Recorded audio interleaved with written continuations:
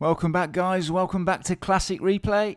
I had so much fun doing the Amstrad Top 40 Homebrew games uh, a few weeks back and got lots of positive feedback that I thought I'll do another and maybe continue it each week, month. And I definitely want to do this for the Specky and 64 as well. So the first bit of news is more of an update. Hopefully you've heard of FireTire.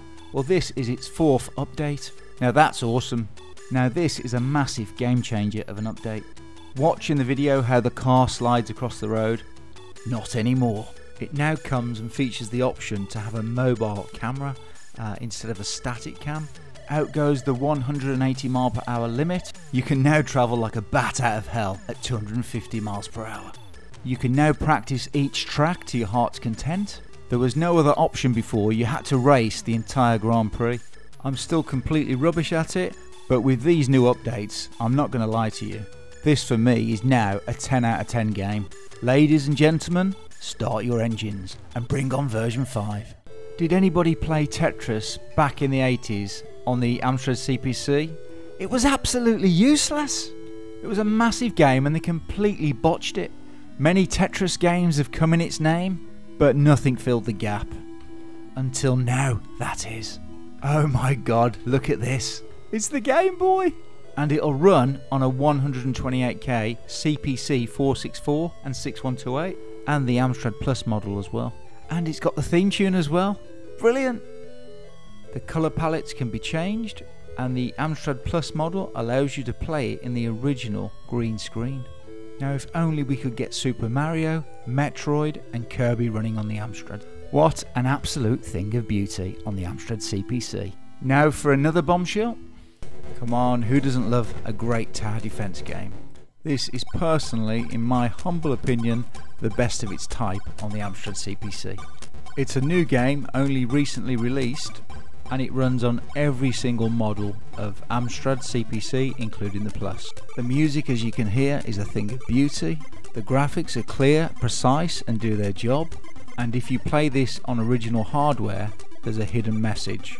I've had this for about a week now, and of that week, I've put about 10 or 20 hours into this, which basically translates to I've had lots of late nights staying up playing this. It's a wonderful game, it's one of the best on the Amstrad CPC, and the music has to be listened to to really appreciate uh, the hard work that's gone into this. This is another excellent game from Ego Tripped, but sadly, what we have here is Ego Trip's last game on the Amstrad CPC. So sad in one sense, but happy in another, as the game is absolutely fantastic. As you can hear in the background there, the soundtrack is fabulous. Naturally, you could draw comparisons to the original Game Boy version of Zelda, and like the original Prelude to Chaos, you'll have to avoid enemies, talk with folk, find jewels, move crates, and solve ever increasing, more difficult puzzles. The game sadly doesn't feature the Amstrad 16 colour mode 0, but what we do get is lots of detail and fantastic gameplay. This is a 2021 release, so be sure to pick it up. Hi caramba! What a nice little surprise! Quite impressed with the graphics, mode 0 and the colour choice. Lovely smooth animation. It's not going to win any awards for pushing the Amstrad near its limits, and each new screen presents its own challenge. There's a good variety of enemy as you push further to the right of the screen, and although there's not much in the way of spot effects, the music is bloody brilliant. The game first saw release on the ZX Spectrum, I think in 2018 or 19. So basically, what we have here is a specky port with a splash of colour, and minus the attribute clash. I like it so far, so definitely pick this one up. I was able to download this one from CPC Power, so head there now. Another new game on the Amstrad, this one took me by surprise. I love shoot 'em ups, especially in the style of Thrust. This looks kinda basic, but trust me, it's anything but. You can actually buy this one on cassette for around $4.99. Your mission is to rescue the universe and be home back in time for tea, you do this by visiting lots of different planets and rescuing the cosmonauts that strangely they're all dotted around in the weirdest of places. You'll need to pick up items as well and take out the enemy. It's available on the Commodore 64 as well, and I have to say it's really difficult to put down.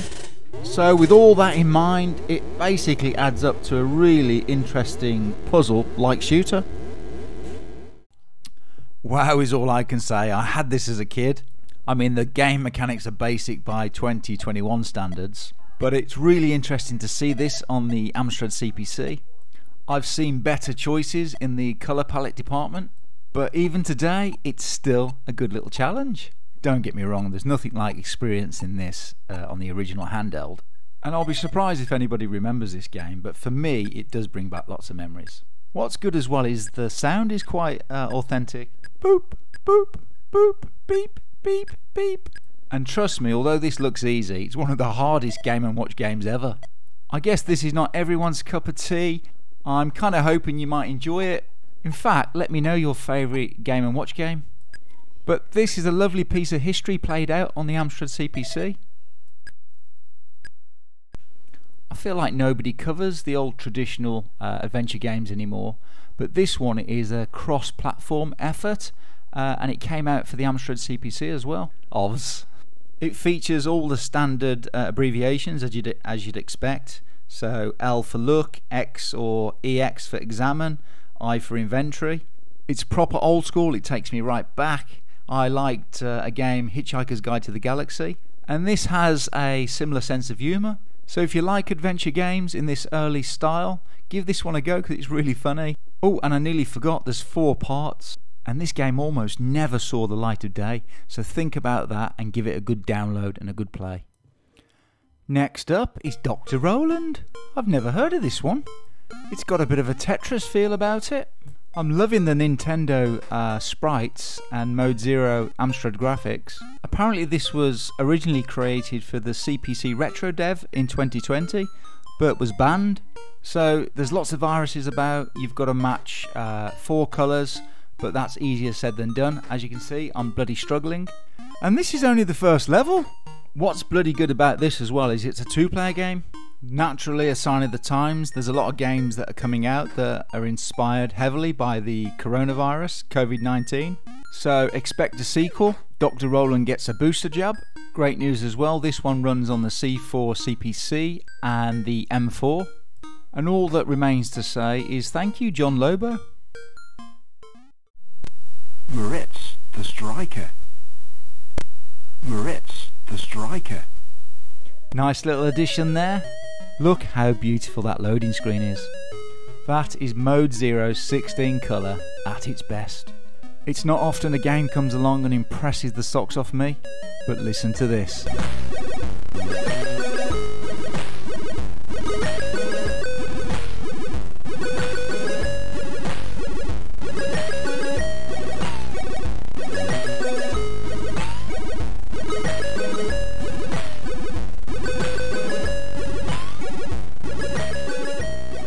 That's not good enough, have a load of this.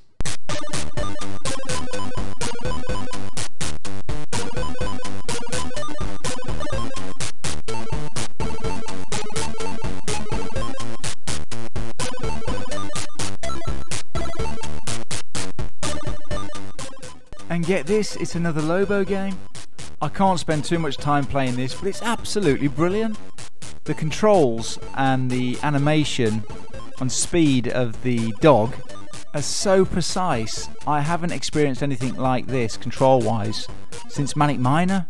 I'm not sure what I was expecting, but I'm definitely massively, pleasantly surprised. So that's my 10 new games for the Amstrad CPC.